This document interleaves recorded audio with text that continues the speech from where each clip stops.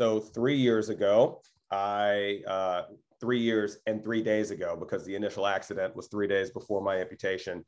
I was in an uh, on-set accident. I'm an executive producer, writer, and uh, director of television shows, and I was uh, producing the finale episode for season one of my show LA's Finest when a car stunt went wrong and a car went out of control and it hit the shipping container that was supposed to be a barricade between Video Village, where all of the producers and directors stand, and the um, stunt. And that shipping container crushed my foot.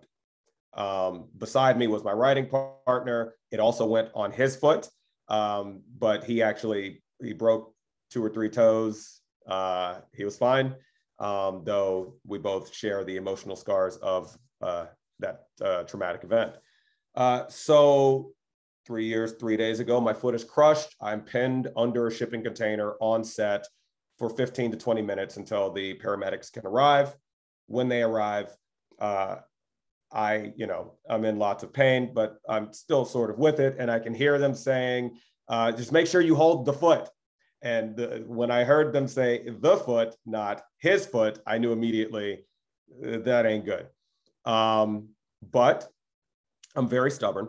Uh, and uh, in the ambulance going to the hospital, I tell the I tell the paramedics, do not take my foot. I I have four children.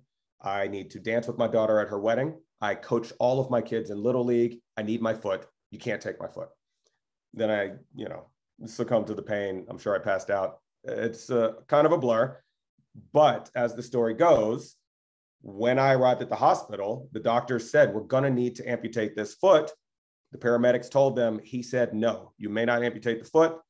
I woke up. The doctor said, Hey, can we cut off your foot? I said, No, you need to call my wife. I need to call my wife. I finally got on the phone with my wife. And what I said to her was, Don't let them take my foot. Um, and so uh, I was put in a helicopter from the UCLA hospital down in Long Beach, where I was and flown to UCLA in Westwood, where they had a different surgical team and they brought in the, the trauma surgeon that was the guy. And he came and he put my foot back together. Um, so it was, I think, nine hours of surgery. Uh, they reassembled the foot. And uh, then I was in the hospital for another couple days. And on the third day, I had undergone hyper hyperbaric chamber treatments. Um, there was, you know, there, there was really barely any pulse in the foot, but I was starting to get blood infections. Um, and so, so, you know, I was getting blood transfusions and things were getting very scary. And my wife and I had a conversation and uh, she said, this doesn't look like it's working. And I said, yeah, it doesn't feel like it's working either. Uh, and uh, so my wife and I talked about what you know where we where we stood in that moment. And that we together came to the decision that a let's not risk your life over this. B what the doctors are now saying is that even if the foot recovers it's going to be problematic for the rest of your life.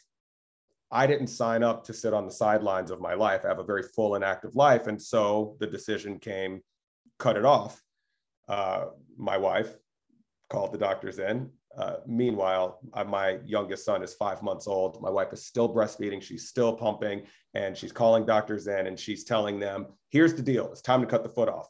And of course, these doctors who spent nine hours reassembling the foot wanted to, they said, no, well, it's, uh, it's going to work. Just wait, just wait, it's going to work. And uh, my wife and I had decided, and so my wife was very clear, uh, no, we're going to cut it off now. And so they called the surgeon. He looked at photos and he said, yeah, you know what? You're right. We're going to have to amputate. Uh, so that was three years ago today. Uh, my foot was amputated. Um, three years ago tomorrow, I woke up in the hospital with uh, a below the knee amputation of my right leg. Uh, and a doctor came in. It was the, the prosthetist that I would be working with later. And uh, the um, occupational therapist came in, and everyone came in and on my bed, I saw uh, a packet from the Amputee Coalition. And uh, there was uh, someone there, and I don't remember which person it was that, that said, just you're going to need to look through this. It has a lot of information. Um, you know, you're going to be okay. And so I talked to the occupational therapist, I talked to the physical therapist, I talked to the prosthetist about how things were going to work down the line. And then I read the welcome packet to the world of being an amputee. Um, and it was very scary, not the packet, but that day. Uh, but one of the things that made it less scary was knowing, and, and in the packet, uh, almost immediately it says, here is the number of amputees, and here are the number of people that at some point in their life will become amputees.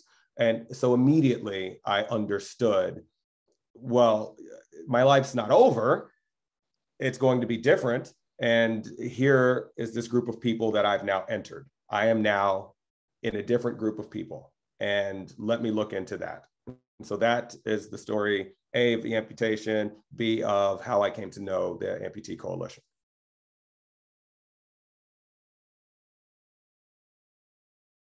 Because we don't tend to think about those with limb loss and, and limb differences until it happens to us or someone that we know or someone that we love.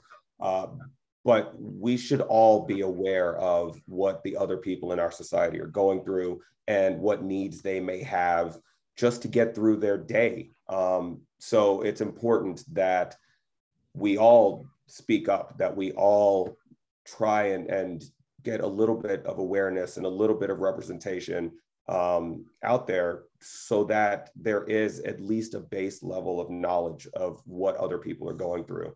And and with that knowledge will come empathy and compassion and hopefully policy change and workplace change and all of the things that that happen when you just take a second to to see the people around you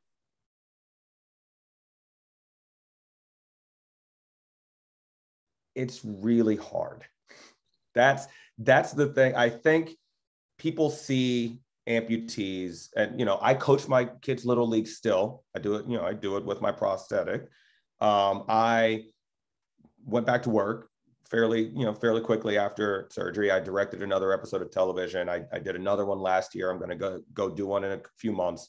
Um, thing you know my job requires being on your feet all day and i do that and so people get the idea like all right well it's over well he had it cut off, but he's got that prosthetic. He puts it on in the morning and he goes off and, and goes about his day.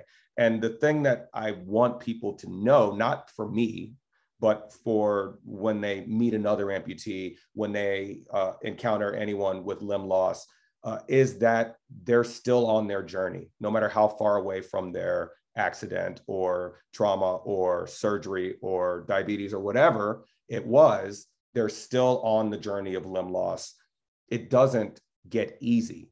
You get used to it, but it never gets easy. It is always difficult, even when it looks easy. So I think that's the thing that people with all of their limbs often overlook is that that person is still in the trauma of having lost a limb. It's just a different trauma now.